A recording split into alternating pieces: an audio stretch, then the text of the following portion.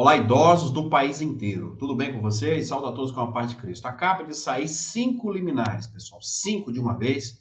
E uma decisão onde que o juiz condena o banco ao pagamento de 10 mil reais.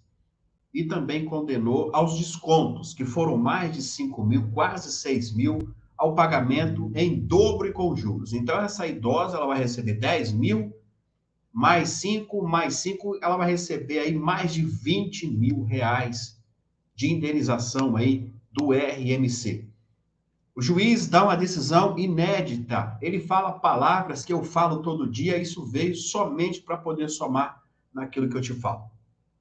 Eu vou falar o nome de todo mundo, as decisões, número do processo, qual banco, Quanto a pessoa vai levar hoje, às 8 horas da noite, no vídeo inédito? Eu vou colocar a decisão do juiz na tela para vocês verem.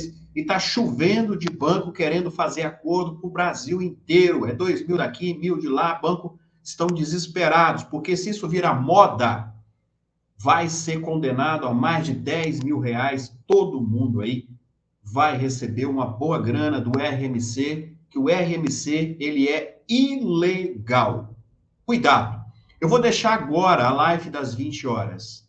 Você quer participar? Se inscrever agora? Aperta aqui, ó, no link aqui, ó, ó o link aqui. Você vai ficar assustado naquilo que eu vou te mostrar hoje, 20 horas. Vem para cá. Beijo.